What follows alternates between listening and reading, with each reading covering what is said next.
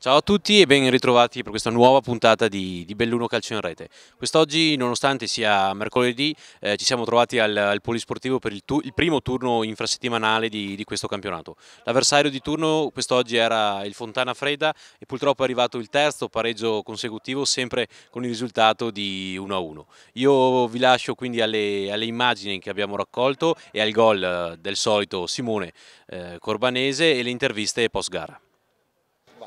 Presidente Presinoto, anche quest'anno l'Italenti Belluno promuove il, il, sociale e tutte le sue attività. Vuoi fare due parole su, su questo progetto che si porta avanti da, da tre anni? Sì, un progetto a cui noi teniamo tantissimo, vogliamo unire il marchio del calcio al sociale. Ringrazio e passerò adesso la parola all'amico Paolo Zaltron che ne cura brillantemente la buona riuscita ormai da tre anni, quindi per i dettagli passo a Paolo, comunque siamo veramente felicissimi di ospitare ogni partita qualche associazione no profit. Grazie. Il progetto consiste nel dare spazio come negli altri anni anche quest'anno a dare spazio a queste associazioni di volontariato presenti nel territorio della provincia di Belluno. Sono società che sono impegnate fortemente sul territorio provinciale, sul sociale come l'AIDO, eh, come l'Avis e altre ASM, abbiamo da Pollicino e altre, oggi abbiamo l'associazione di disturbi specifici. Il progetto consiste in cosa? Quando il Belluno Calcio gioca in casa diamo un piccolo spazio, uno spazio a queste associazioni per presentarsi, far comunicazione e dire eh, chi sono, cosa fanno e dove sono, in modo che poi i vari eh, spettatori e i vari cittadini e chi segue anche il mondo del calcio possa comunque se vuole partecipare ai siti internet o i numeri che abbiamo dato di condivisione.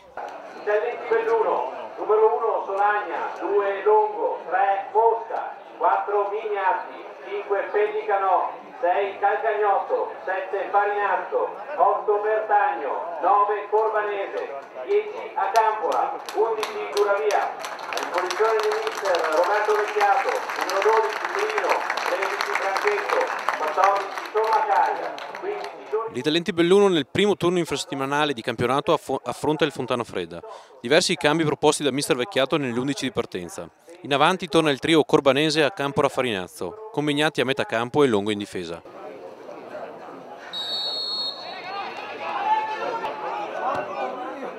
Al diciottesimo occasionissima per l'Italenti Belluno con Calcagnotto, che sugli sviluppi di un calcio d'angolo stoppa di petto e calcia a botta sicura, ma il suo pallone è respinto dal portiere.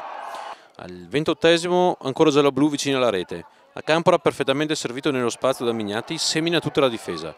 Il portiere ospite esce per sventare la minaccia, ma il pallone rimane pericolosamente in aria. Ancora a Campora si butta sulla sfera, ma il suo tiro viene respinto dal portiere. Al 33esimo Mignati dal limite, palla alta sopra la traversa. Al 44 arriva il gol del Fontana Fredda. Calcagnotto tocca di mano in aria e l'arbitro decreta il calcio di rigore. Sul dischetto si presenta Moras che non sbaglia.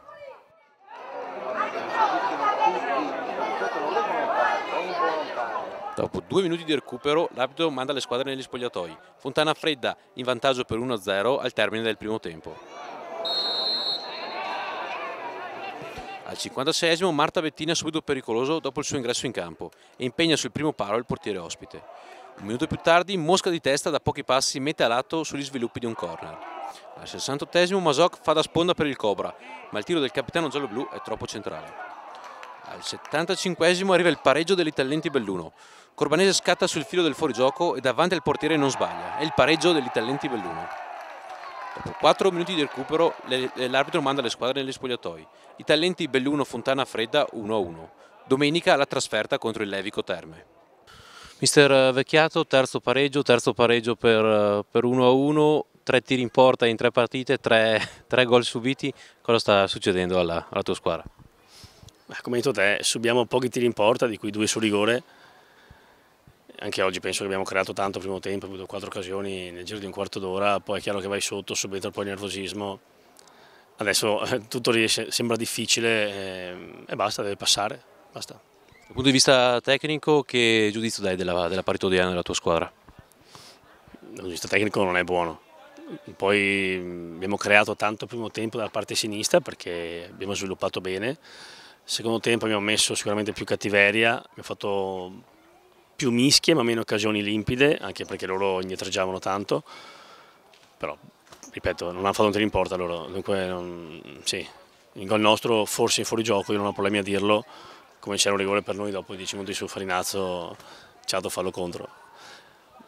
Detto questo pensiamo a noi a giocare meglio e a vincere le partite, cosa che adesso ci riesce difficile. Dal punto di vista difensivo molto bene la, la tua squadra, non concediamo praticamente nulla agli avversari, forse davanti soffriamo un po' di più, le, diciamo, le, le occasioni come dici te le sviluppiamo più che altro dagli esterni con, con Mosca, soprattutto dalle, dalle fasce. Beh, sì, basta crearle fondamentalmente, dietro stiamo concedendo praticamente niente perché anche oggi Solagna penso che non ha fatto una parata seria mentre il loro portiere ne ha fatte due o tre importanti, eh, che poi le sviluppiamo centralmente o esternamente, dipende anche da contro chi giochi, insomma. Bisogna far gol.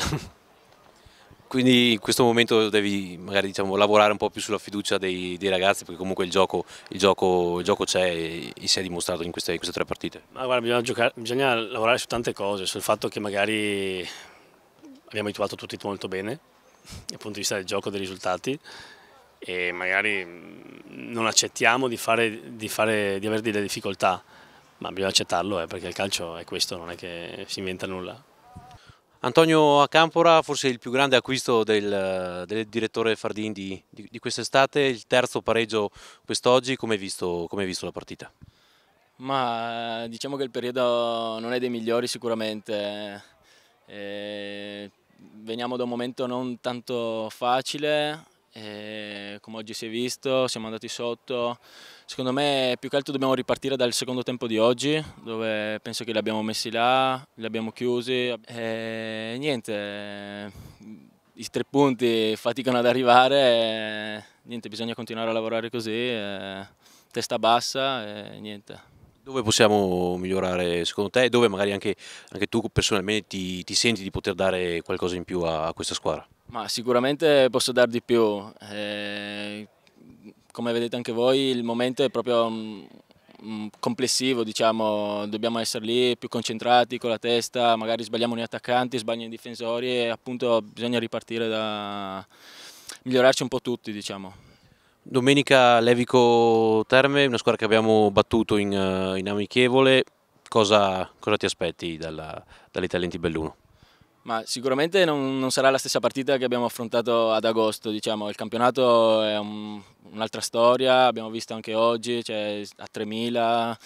Niente, dobbiamo, dobbiamo, lavorare, dobbiamo già partire venerdì concentrati, sapendo che non sarà facile e cercare di portare a casa questi tre punti che ci mancano. Diciamo.